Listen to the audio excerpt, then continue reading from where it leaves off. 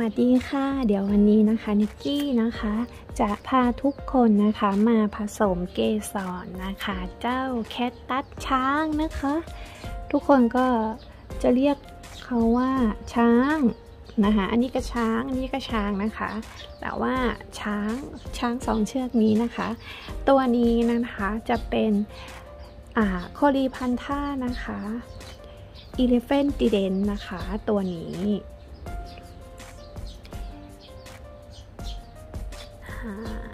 ตัวนี้นะคะโคลีพันท่า Elephant d i d e n แล้วก็ตัวนี้จะเป็นโครีพันท่านะคะบูแบมมากรีน คือผิวเขาจะออกอมฟ้าฟ้านะคะ ตัวนี้จะสังเกตได้ว่าอันนี้จะออกเขียว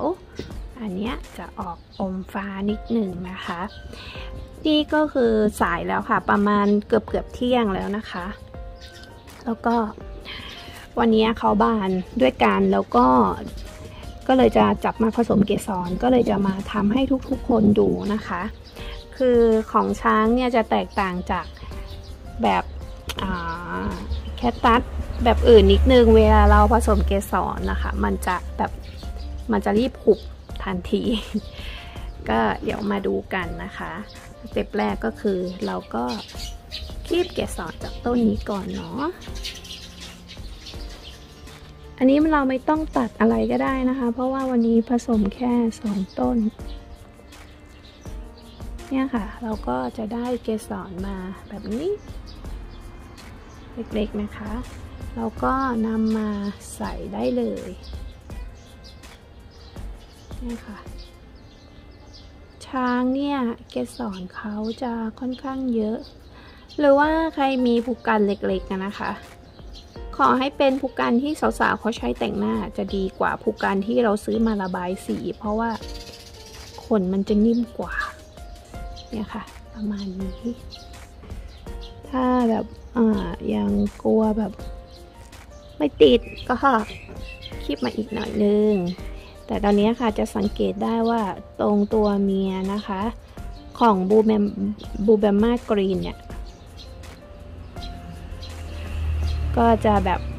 ติดสีแล้วนะคะ เป็นสีแบบเหลืองๆเลยนะคะ เสร็จแล้วอะ่ะ เราก็จะใช้เกสรของบูเบมากรีน ใส่ Elephant t i d e n นะคะ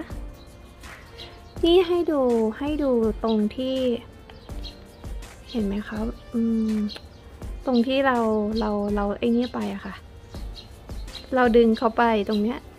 ก็จะหดหดไป คือโดนนิดนึงอะค่ะก็เหมือนกับเขาก็จะรีบหดหดตัวไปเลย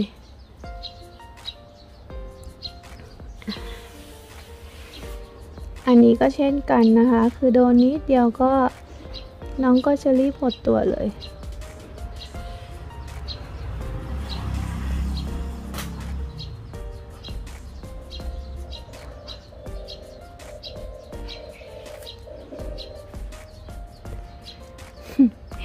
ด้วยความที่เกสรเยอะ โอเคค่ะ อันนี้ก็เสร็จแล้วนะคะ ช้างสองเชือกผสมกันแล้วนะคะ ระหว่างบูแมมมากรีนนะคะ กับอีเลฟเฟนตีเดนนะคะ นี่ก็เป็นวิธีง่าย ๆ สังเกตไหมคะว่าตรงนี้เนี่ยตรงเกสรตัวผู้ของเขาตรงเนี้ยก็จะหดหดไปเลยนะคะนี่เห็นไหมคะ หดทั้งคู่